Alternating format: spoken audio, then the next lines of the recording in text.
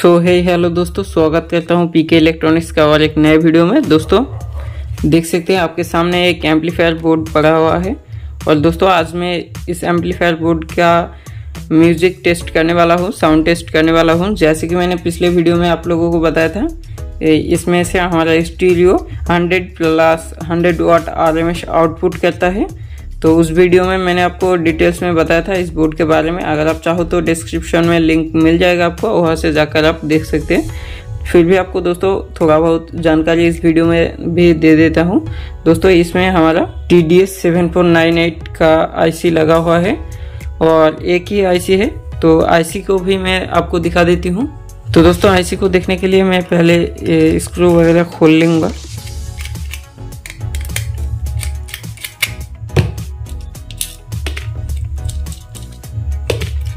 तो दोस्तों इस हीट सिंक के नीचे आईसी है हमारा। तो इधर आप नज़र देंगे तो आपको दिख जाएगा। ये हमारा T D S seven four nine eight का एक आईसी है एक ही आईसी है दोस्तों और इसमें से हमारा दो चैनल आउटपुट होता है जिसमें पाँच चैनल हमें हंड्रेड वोट के आर पर मिल जाता है।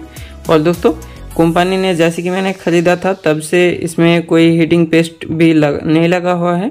तो आप इस बोर्ड को खरीदे खरीदे हुए हैं तो ज़रूर इसमें हीट सिंक पेस्ट जो होता है उसको ज़रूर लगाइए क्योंकि आईसी में हीट सिंक पेस्ट की बहुत ज, बहुत ज़रूरत होती है।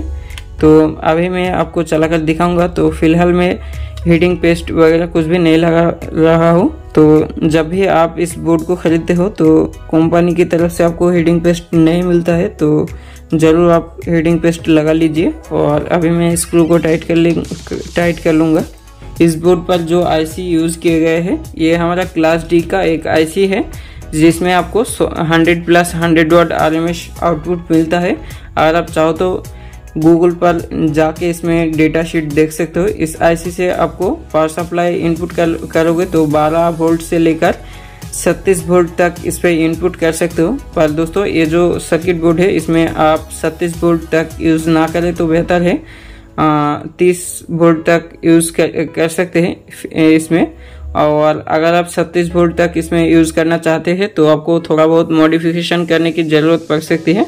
जैसे कि हमारा जो कैपेसिटर से है इसमें 35 वोल्ट का कैपेसिटर लगा हुआ है। शेयर कैपेसिटर इधर आपको मिल जाएगा।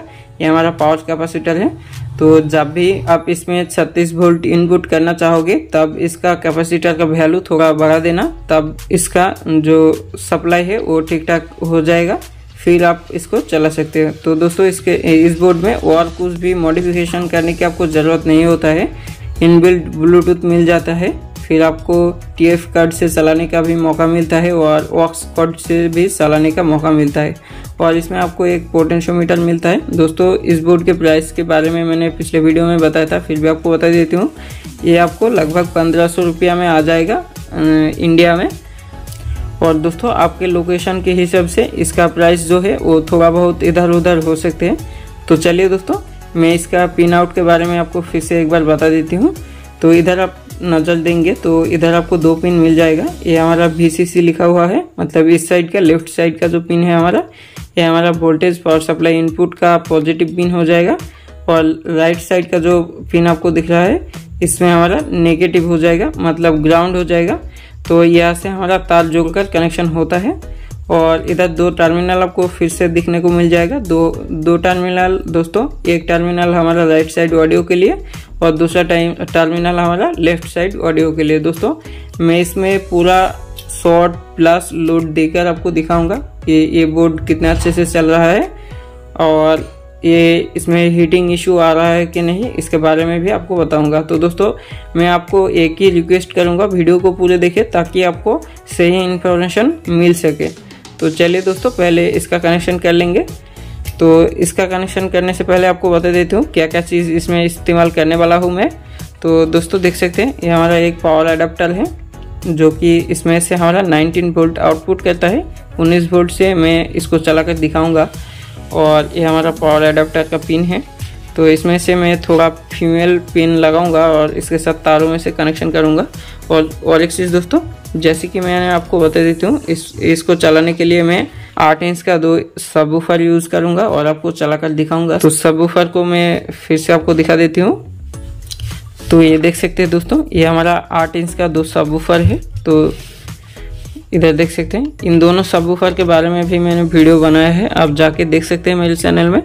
मैं कोशिश करूँगा डिस्क्रिप्शन पे इस, इन दोनों सबवूफर के लिंक देने की। तो दोस्तों सबवूफर आप देख सकते हैं, ये हमारा डी डीओ डीजे कंपनी का एक सबवूफर है। ये देख सकते हैं।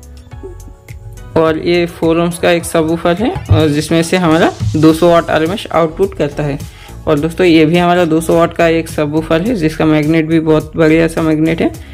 और ये क्लासिक कंपनी का है। दोनों को ही मैंने फ्लिपकार्ट से ऑर्डर किया था। आप चाहो तो फ्लिपकार्ट से इसको बाई कर सकते हो। तो दोस्तों, पहले मैं इसको कनेक्शन करूँगा। तो दोस्तों, इसका पावर सप्लाई का कनेक्शन करने के लिए कुछ इस टाइप का मैंने तार लिया है। ये हमारा फीमेल एक पिन हो जाएगा इन एडाप्टर से कनेक्शन करने के लिए। तो ये देखिए, कुछ इस टाइप से लग जाएगा। और मैं पावर सप्लाई का कनेक्शन पहले कर लेती हूँ। तो पावर सप्लाई का जैसे कि मैंने आपको बताया था, ये हमारा लाल तार पॉजिटिव हो जाता है। और योलो तार हमारा, ये हमारा योलो तार हमारा नेगेटिव होता है तो इसके साथ कुछ इस टाइप से कनेक्शन होगा। तो दोस्तों देख सकते हैं पावर सप्लाई का कनेक्शन मैंने कर लिया है, और अभी मैं इन दोनों स्पीकर का कनेक्शन करने के लिए थोड़ा बहुत तार की इस्तेमाल करूँगा।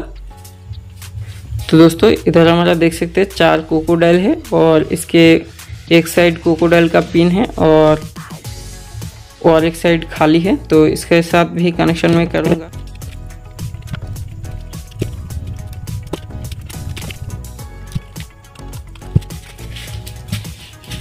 तो दोस्तों, देख सकते हैं सब ऊपर वगैरह सब कुछ में ठीक ठाक से कनेक्शन कर लिया है।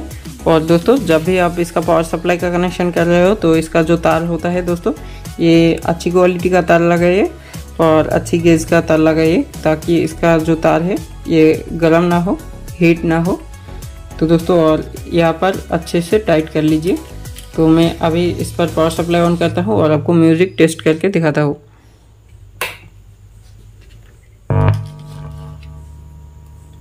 Bluetooth mode. The Bluetooth device is connected successfully.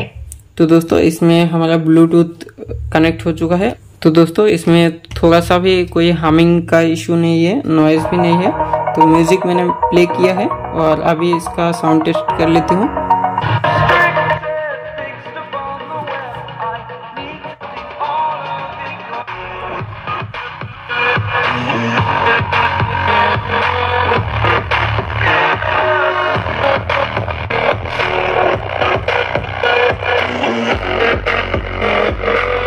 exaggerated,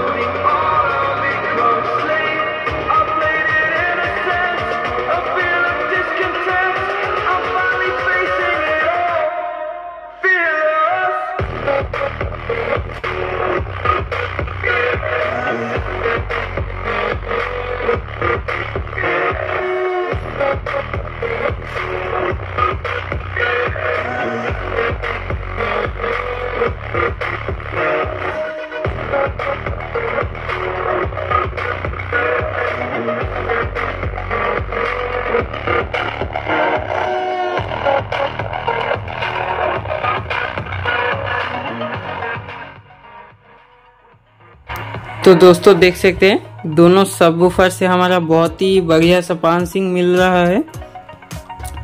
और जैसे कि आप जानते हैं क्लास डी में डी का जो आईसीज वगैरह होता है, वो उतना ज़्यादा हीट नहीं होता है। पर दोस्तों, अगर आपके एम्पलीफायर में थोड़ा बहुत हीट हो रहा है तो इसका हीट सिंक जो है, वो थोड़ा ज़्यादा बड़ा कर दीजिए तो ये उतना हीट नहीं होगा और कोई प्रॉब्लम भी नहीं आएगा। पर दोस्तों, ये जो ऑडियो बोर्ड है, इसमें उतना ज़्यादा हीटिंग इशू भी नहीं है। ये बहुत ही अच्छे से चल रहा है। जैसे कि मैंने आपको दिया था, ये देखिए, ये चल रहा है, कोई दिक्कत नहीं है। और इसका साउंड क्वालिटी दोस्तों बहुत ही बेहतर साउंड है और इसमें से बेस टोन वगैरह सब कुछ सही सलामत है। ये एम्पलीफायर की बोर्ड की। तो इसमें से स्टीरियो साउंड प्रोवाइड करता है तो मैंने सब ऊपर चला के आपको दिखाया। और आप इसमें से, ये दो ट्विटर यूज़ करते हो पाँच चैनल दो चैनल दोनों के लिए दो ट्विटर यूज़ करते हो तो इसका साउंड क्वालिटी बहुत ही बेहतर आपको सुनाई देगा और आपको सुनने में भी बहुत बढ़िया सा लगेगा। तो दोस्तों, इस वीडियो से थोड़ा बहुत आपको इन्फॉर्मेशन मिली हो तो ज़रूर वीडियो को लाइक कीजिए और मेरे चैनल को सब्सक्राइब करके इस तरह मेरे साथ जुड़े रहे, ताकि आगे भी मैं आपको इस तरह कंटेंट दे पाऊँ। तो चलिए दोस्तों, मिलते हैं नेक्स्ट वीडियो पे, तब तक के लिए बाय बाय टेक केयर